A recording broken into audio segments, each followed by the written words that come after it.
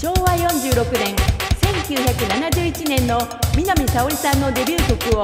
平成元年の1989年森高千里さんがカバーした17歳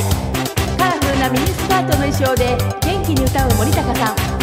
昭和に大ヒットした17歳は平成でも大ヒットしました。時を超えて多くの人々に愛され青春時代の思い出や感情を呼び起こ作曲堤恭平今宵は元17歳の牧下真希奈さんが歌います。お聴きください誰もいない海二人の愛を確かめたくてあなたの腕を